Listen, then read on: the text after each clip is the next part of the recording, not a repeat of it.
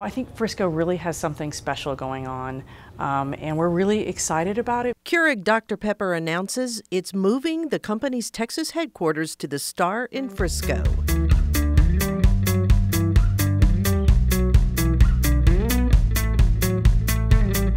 The Fortune 500 company's decision to relocate prompted the Frisco City Council to agree to sell a two and a half acre tract of land to Blue Star Land. The property currently serves as a parking lot for Dallas Cowboys players and is part of the publicly owned Ford Center. The purchase price tag is about $597,000, which covers the city's original cost to buy the land plus interest. The property is generating no tax revenue because the city actually owns that property.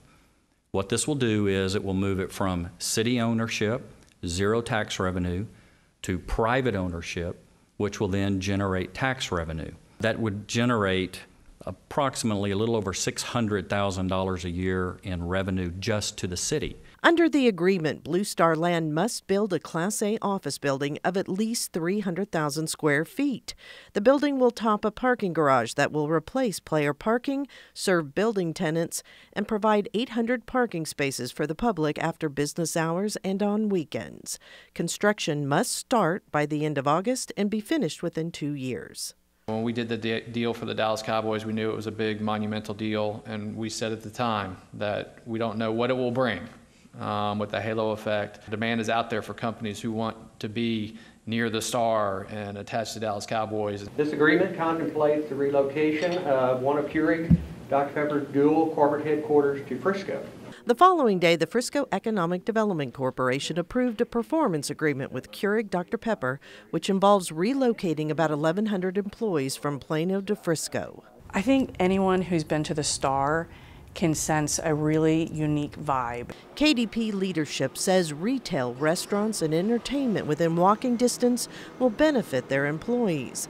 A build to suit building for future factored into the company's decision, too.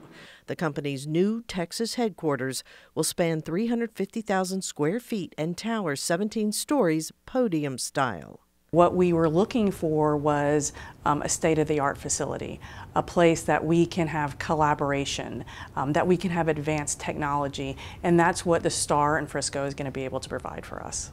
We have deep North Texas roots, um, and to be able to be in Frisco, which is such a dynamic community and such a growing community, um, is something that's really special to us.